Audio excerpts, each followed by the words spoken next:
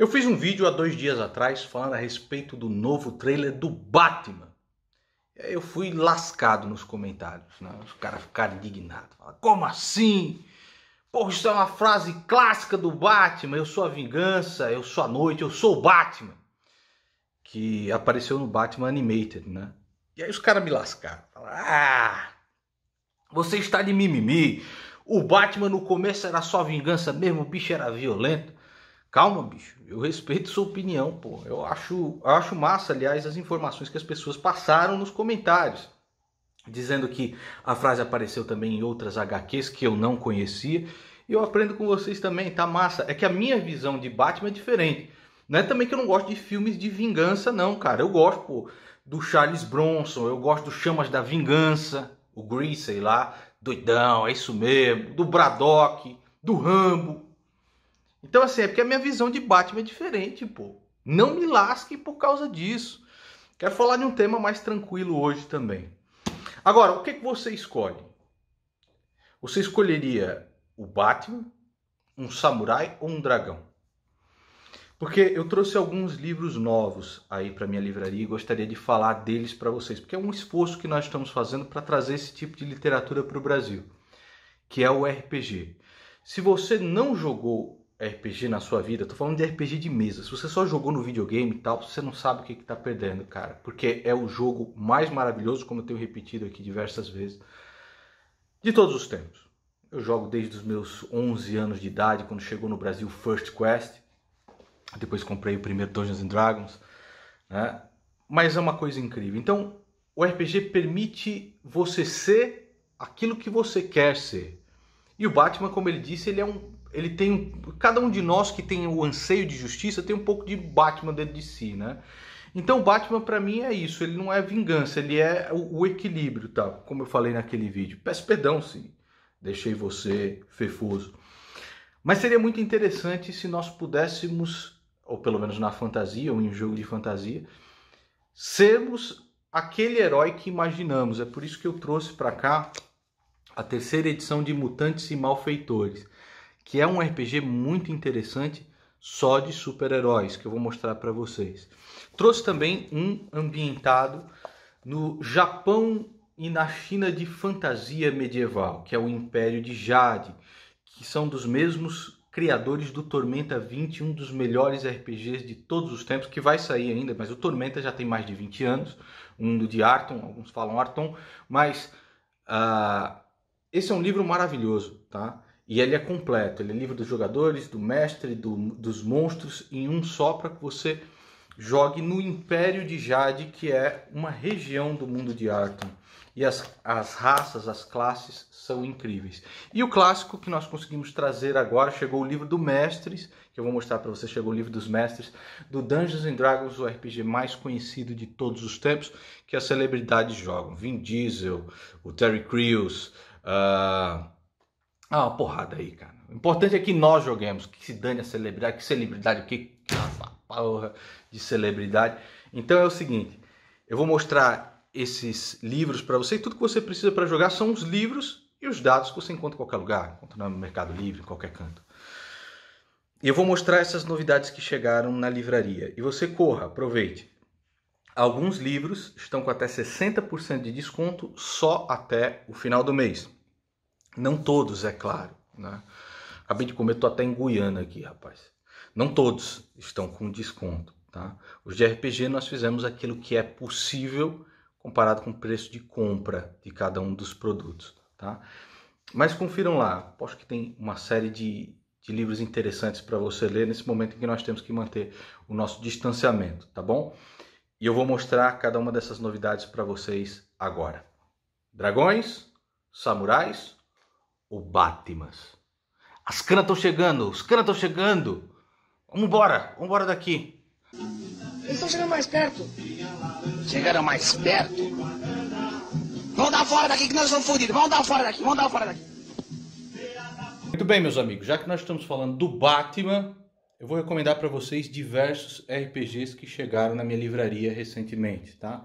Nós temos o clássico Dungeons and Dragons, para quem gosta de dragões, magos, cavaleiros, elfos, anões, aquela fantasia medieval. para quem gosta de samurais e para quem gosta de super-heróis. Se você não sabe o que é um RPG, meu amigo, eu realmente recomendo que você vá pesquisar para saber, porque é o jogo mais legal, mais interessante que existe uh, e eu acho muito mais legal que videogame também, tá bom? Então vá pesquisar para saber o que é e eu tenho essas novidades na minha livraria aí. Vamos começar com os de super-heróis. Aliás, aproveitando para dizer que a promoção na minha livraria vai só até o final desse mês e aí acaba, tá? O livro que chegou recentemente foi Mutantes e Malfeitores. Para que você crie o super-herói que você imaginar. Pode ser um Batman, pode ser como X-Men, etc.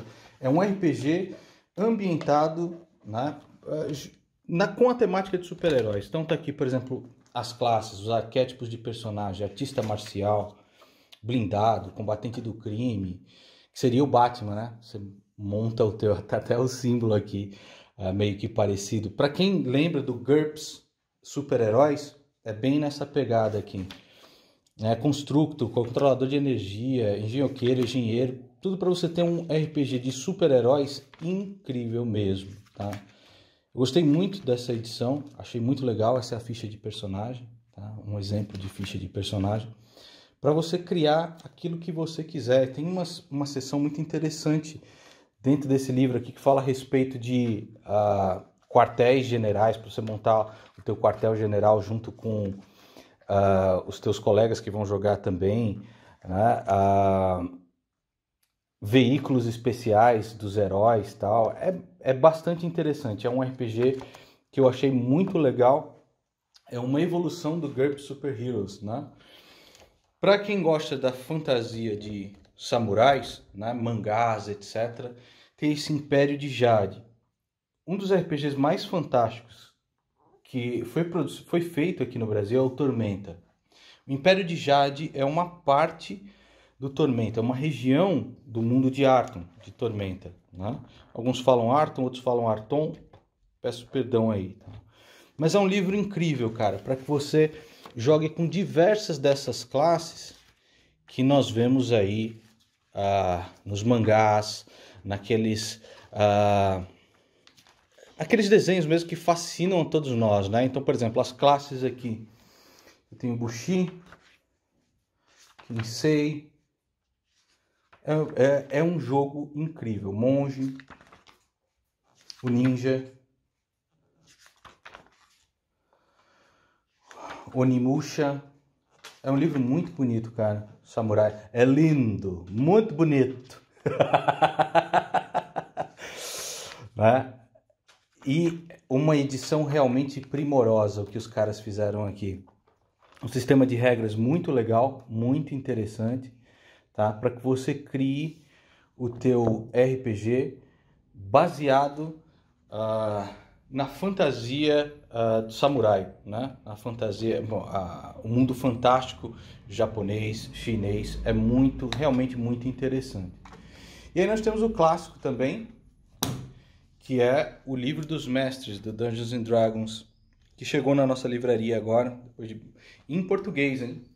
Então aqui nós temos o livro do jogador e o livro do mestre, tudo que você precisa para jogar. Eu acho o seguinte, que as ilustrações do livro dos mestres, do mestre é uma das coisas mais fantásticas que eu já vi em livros de RPG. Eles realmente capricharam. Eu achei que não dava para ficar melhor do que a terceira edição. Mas isso daqui é incrível. As, as ilustrações são incríveis. Uh, e é um guia completo de como você ser um mestre do jogo. Né? Eu fui mestre por muito tempo. Jogador eu fui também. Estou sendo jogador agora. depois de bastante tempo mestrando aí. E o livro dos monstros, que você pode também baixar as fichas pela internet, tem muito monstro aí. E para quem tem o saudosismo da terceira edição, já tem bastante suplementos da terceira edição, o que eu recomendo é ir para o Pathfinder. Né? Então tem várias opções aí de RPG para vocês, mas o Pathfinder, vou pegar aqui, tem na livraria também. E é maravilhoso, cara. Eu acho que são as regras mais polidas de RPG de todos os tempos, assim como na terceira edição. Então você tem o bestiário, as criaturas, né? Como o livro dos monstros no Dungeons and Dragons são incríveis. Esse é um RPG incrível, cara. Acho que vocês estão conseguindo ver aí, né? Dragão branco adulto. Dragão negro venerável. É lindo. Muito bonito. Aqui você tem o guia de campanha, né? Que vem com esse mapa muito legal. Você imagina aí teus. Calma aí, deixa eu abrir aqui o negócio. Olha aqui como é detalhado, como é gigantesco o mapa de campanha do Pathfinder, tá? A região do mar interior aqui. Um RPG de mesa, cara, os teus jogadores, se você não conhece, eles vão para qualquer um desses lugares, né? E esse livro detalha cada um desses lugares de uma maneira bastante interessante. Deixa eu abrir aqui para vocês verem. Montanha dos Cinco Reis. Então, qual a história desse, desse lugar? Qual é o governo deste lugar? Quais são os lugares interessantes? Qual é a história interessante? Né? É um livro lindo, muito bonito. de um RPG que eu gosto muito. A terceira edição, Dungeons Dragons, foi incrível. Você tem o livro básico de regras, que une não só o livro do mestre como o jogador. Então, para você escolher, se você quer um RPG baseado na terceira edição, com regras muito precisas, muito específicas, Pathfinder, os livros são lindos, tá? Muito bonitos. Ah. Aqui nós temos o Guerreiro, por exemplo. Muito bem.